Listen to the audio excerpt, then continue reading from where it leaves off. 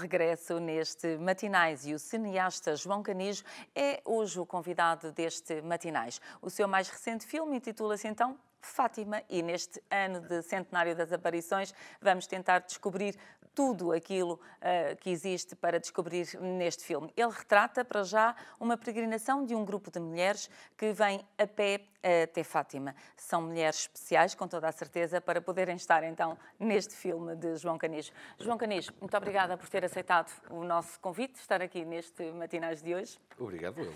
Se calhar poderíamos começar aqui por situar um bocadinho os nossos telespectadores e perceber quem é o João Canijo, de onde é que vem João Canijo e como é que se chega a este mundo do cinema.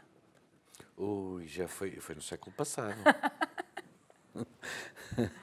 Eu comecei pela mão do Sr. Manuel de Oliveira. Há muitos anos. Um bom professor, sem dúvida. Um, bom, um ótimo professor. Em 1980, já há uns anos que isto já foi. Não foi assim há tantos. Não foi assim Foi no tantos. século passado, quase meados. E depois lá fui andando, fiz uma carreira como assistente de realização. E depois comecei a fazer filmes. Fiz o meu primeiro filme em 1985, até hoje. Desde cedo sempre sentiu esta vontade de criar, de andar ali no mundo. eh, Desde os 12 anos que, tenho a certeza, que tinha a certeza que queria ser realizador. E nessa altura já era um bocadinho complicado ter uma certeza dessas. Como é que foi a reação lá em casa quando começou a dizer O- eu quero ser realizador de cinema? O meu pai era muito cinéfilo, mas queixou muito bem. Nu- Nunca, a reação foi muito boa. Portanto, foi fantástico nesse Foi. sentido. Muito bem. Oh, João, e tinha também aquela tendência que às vezes eh, temos quando somos mais novos, que é eu gostaria de ser isto, então começa a inventar a caixinha da, da máquina para a máquina de filmar e tal. Não, nunca me interessei muito e mesmo hoje não sei muito da parte técnica. Sei o básico e elementar para, poder, para poder sobreviver a fazer filmes. Portanto, o que lhe interessa mais é o outro lado, o contar a história, o, o fazer a história. O, conta, o contar a história, exatamente. Muito bem, e assim, só para situar os nossos telespectadores, eh, recordamos que hoje temos aqui em estúdio connosco, neste Matinais, João Canijo, é o autor do filme Fátima, e vamos estar à conversa para descobrir então eh, tudo sobre este eh, novo filme que está a rodar neste ano de centenário das aparições. E é exatamente por aí que começamos então, João Canijo. Como é que surgiu este filme? Este filme surgiu de uma ideia de colocar um grupo de mulheres numa situação limite de esforço e de emoção. E depois de procurar um bocadinho, surgiu-me a ideia de uma peregrinação a Fátima a pé. Há coisa, poucas coisas há mais portuguesas, poucas coisas há mais eh, importantes para os portugueses e, e, embora não estejam fechadas num sítio, são de qualquer maneira obrigadas a estar 24 horas sobre 24 horas juntas. Hum, vi- mulheres eh, vinda à Fátima, porquê mulheres? porque eu, eu, o filme era para ser feito com atores e foi feito com atrizes e a mim desde há uns anos que tenho mais tendência a trabalhar com mulheres do que com homens. Trabalha-se melhor com elas do que com eles? Não é uma questão de se trabalhar melhor, mas é uma questão delas terem mais o dom da dádiva do que eles. Entregam-se mais para o papel. Exatamente. Hum, e neste caso era preciso, de facto, hum, esse poder de entrega.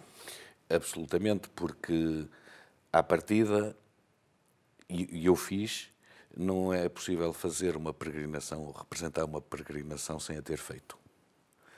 E eu fiz antes delas fazerem. Portanto, o João Canijo escolheu o trajeto eh, e fez a peregrinação. Vamos O- então o, o, contar... traje- o trajeto foi muito simples de escolher. Eu escolhi o mais longo. Muito bem, então vamos situar-nos. De onde é que partimos? Eh, Já sabemos que vamos chegar a Fátima, mas partimos de onde então? A mais longa, do Distrito de Bragança. Que é... E sendo do Distrito de Bragança, de Bragança propriamente dita. Embora a peregrinação de Bragança é organizada por pessoas de Vinhais. E, a distância, e a distância é a mesma, até Fátima. São 430, 400 e qualquer coisa, 430 não é? à volta de 430 quilómetros. Os 30 é o mais fácil de fazer? Os 30, não sei se contar do princípio, é capaz de não ser o mais fácil, porque há uma tendência, quase uma regra, de eh, a primeira etapa ser a mais puxada. Exatamente. E, e, portanto, as pessoas chegam ao fim da primeira etapa, já estão absolutamente Já estão cansadas. Já. João, eh, tendo em conta que fez esta peregrinação, porque de facto... Não, eu não fiz essa. Mas fez uma Não. peregrinação até Fátima. Sim, Qual é que eu fez? fiz uma muito mais modesta. Eu fiz Ah. a de Coimbra. Pronto, de Coimbra à Fátima. De Coimbra à Fátima. Ainda assim, conhecendo bem o percurso, não é assim tão modesta, convenhamos que tem ali umas subidas eh, complicadas. E, e principalmente porque foi feito em dois dias. Exatamente, não é um E, percurso fácil. e em dois dias já são uns quilómetrozinhos bons por dia. E, e deu, deu perfeitamente para perceber duas coisas. Primeiro, que é, que é um sacrifício que leva todos os dias ao limite da resistência física. E em segundo lugar, que as minhas atrizes não podiam fazer o filme sem fazer a sua própria peregrinação. Ó João Canijo, eh, e nesta preparação, fazendo esta pre- peregrinação, parte do percurso Coimbra-Fátima, ainda assim, pensando nisso, preparou-se anteriormente? É uma pessoa que está habituada a andar a pé ou meteu-se na aventura? Não preparei rigorosamente nada, mas eu estava mais ou menos, na altura, eh, fazia algum desporto, mas estava mais ou menos preparado. Também não me quis preparar muito porque sei que a maior parte das pessoas não se preparam. E, portanto, queria sentir o que era, de facto, fazer aqueles quilómetros todos a pé eh, por dia. E, mas custou muito mais do que aquilo que eu estava à espera. É. O que me custou mais, que, que é foi? terrível, terrível, é quando se chega à reta de Leiria, começa-se a ver a estátua, o monumento aos peregrinos lá ao E fundo. nunca mais acaba. E nunca mais lá se chega. Essa é a sensação que todos os peregrinos têm. É nesta reta, a partir da Loureira, Aquela, aquela reta reta é, é terrível. terrível, terrível, absolutamente terrível. porque vê-se o Parece objetivo. cada vez mais longe. A cada passo fica mais longe. É. Também sentiu isso. Isso é absolutamente. Eu cheguei ao fim e por isso é que eu digo, e eu estava, não, não sou uma pessoa que nunca tenha feito desporto e não sou uma pessoa frágil, Eh, mas quando cheguei ali ao- aos bombeiros, eu tive febre muscular. De facto, aquilo que se diz que se tem, eu tive. Exatamente. E ainda por cima, fazendo esse percurso Coimbra-Fátima só em dois dias, sem dúvida que é um esforço físico muito grande. Mas a maior parte das peregrinações, pelo menos aquelas que vêm do Norte e as que vêm do Alentejo também, fazem essa média de para cima de 40 km por, Por dia, exatamente.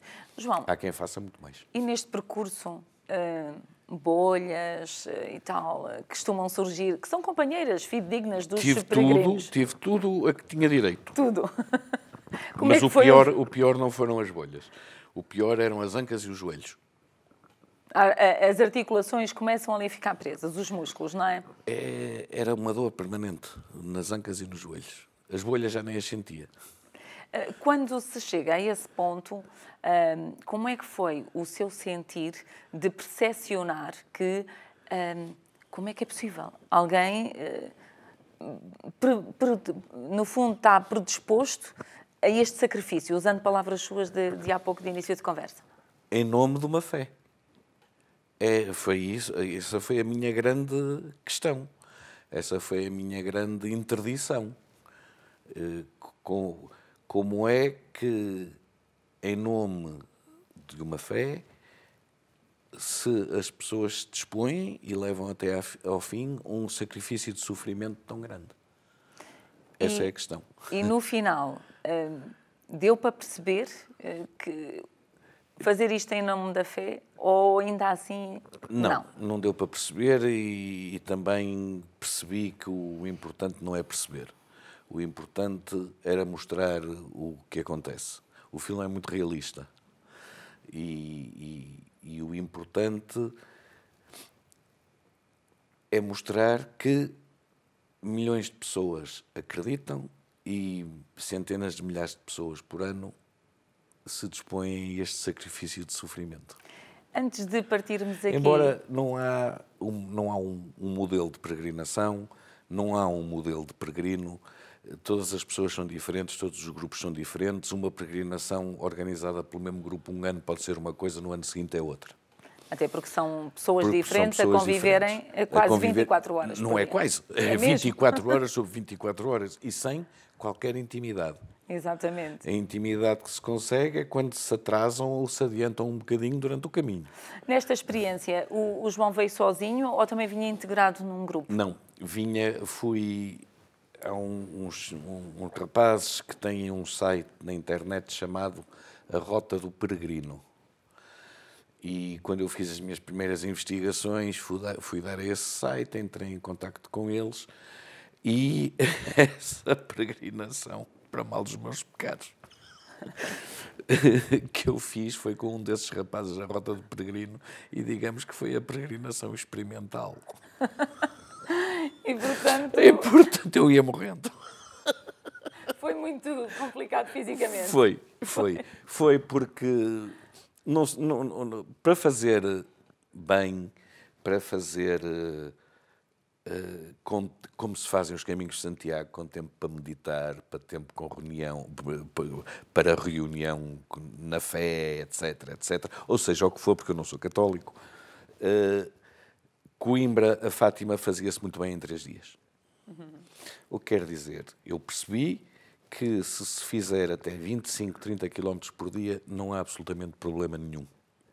Nem é sequer as bolhas aparecem muito. Exatamente. Mais que isso é, é muito complicado. muito bem, João. E quando eu penso que há pessoas que fazem 80 km por dia, Fica agora a refletir bem. Os grupos que vêm da Guarda fazem, um, como é um, mais perto de Bragança, fazem uma loucura de quilómetros por dia. Por dia. João, uh, vamos conhecer um bocadinho mais o filme uh, e dizia uh, já aqui, o referiu que não é católico, mas sobre a mensagem de Fátima, alguma coisa em especial lhe diz ou não? A mensagem de Fátima diz-me aquilo que eu já, eu vou-me repetir, diz aquilo que eu já tinha dito que me diz. O importante para mim é que milhões de pessoas acreditam na mensagem de Fátima. Muito bem. Então, em relação ao filme, há uma curiosidade que está geral no país, que é, afinal, as artistas, e temos a Rita Blanca entre tantas outras, mas elas fizeram ou não fizeram parte das etapas, caminhando pelos próprios pezinhos, ou aquilo foi tudo para cinema? Elas fizeram peregrinações reais. A Rita Blanco fez 200 e tal quilómetros a pé. Ela fez... Ela não fez a grande, não fez a de Bragança, que são 430, porque a Rita já, já tem uma certa idade, pronto, não, não é uma jovem. Mas fez com a Teresa Madruga a peregrinação de Regangos.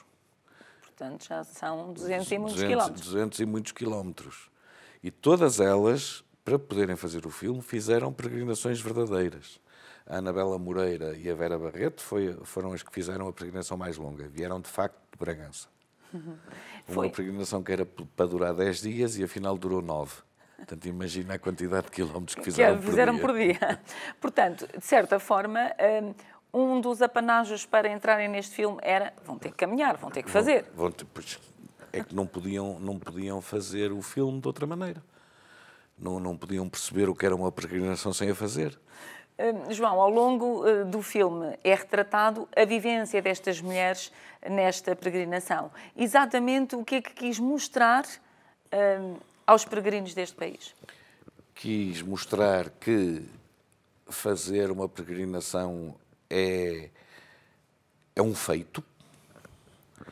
É, é um feito que, para a grande maioria das pessoas, é feito em nome da fé, ou seja, em nome da necessidade de acreditar em Deus ou na Nossa Senhora, mas que nesse caminho de fé as pessoas não deixam de ser pessoas.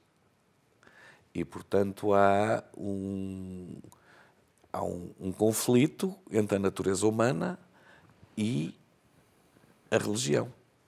Ou, a, ou, ou acreditar na religião. O que é que isto quer dizer? Quer dizer que por muito, como na vida, por muito católica que seja uma pessoa, por muitos princípios católicos que se tenha uma pessoa, essa pessoa não deixa de ser uma pessoa e, portanto, tem comportamentos no dia a dia que são tudo menos católicos. Portanto, no fundo, é dar conta que. Uh, Mas isso quilómetros... não lhe tira valor, a essa pessoa não, não tira valor à qualidade da sua crença. Mas, Mas, a natureza que... humana sobrepõe-se muitas vezes às intenções da religião. Porque isto, eh, João Canis, estamos a retratar algo que acontece quando é uma peregrinação, são 24 sobre 24 horas, um grupo de pessoas. Com uma agravante, que é o cansaço. E como toda a gente sabe, o cansaço extremo também torna as emoções extremas e torna as explosões tanto de afeto como de raiva muito mais fáceis. E mais intensas. E muito mais intensas. O cansaço é terrível. E de certa forma, uma pequenina coisa transforma-se num problema enorme. O, como nas famílias, o, o, como nas famílias, o mudar um, um tacho de sítio na cozinha pode, numa família, dar quase sempre problema. Um, pequeno, um problema. E é, um, e é, e é uma, uma coisa sem absolutamente importância nenhuma. É exatamente isso. É, é mostrar que, apesar da elevação que, que, que, levou a fazer aquele caminho, as pessoas não deixam de ser pessoas e, e, apesar da elevação das intenções, os comportamentos não deixam de ser humanos. Quanto tempo é que demorou a rodagem do filme? Isso foi normal, nove semanas. Portanto, uh, tudo até foi rápido e depois, no desenrolar da, da, da peregrinação, uh, eram etapas muito cansativas? Não eh, elas fizeram duas peregrinações. Fizeram a verdadeira, com, integradas em grupos de peregrinos verdadeiros, e separadas umas das outras, porque se fossem todas juntas não funcionava, não é? Juntavam-se e não havia a interação com, com os peregrinos reais, não iam aprender nada. E depois fizemos uma peregrinação falsa, nas condições da peregrinação de Bragança, que são as condições em que é feita no filme, que é uma carrinha com beliches adaptados e uma caravana, para que, que dá apoio, onde dormem e onde comem, etc. E nessas condições fizemos uma peregrinação mais curta e durante cinco dias, mas só com as atrizes, para testar e ver as relações entre os personagens quando se Depois, chega... num filme absolutamente normal. No filme é um filme normal, fazíamos as cenas e as meninas depois iam para o hotel. Muito bem, precisavam de descansar, até porque já tinham tido a experiência. Exatamente. Anterior. Eh, no final da, eh, da peregrinação, portanto, o objetivo é chegar a Fátima e elas chegam a Fátima. Um, e depois aquele momento, de facto, há algo especial em tudo isto?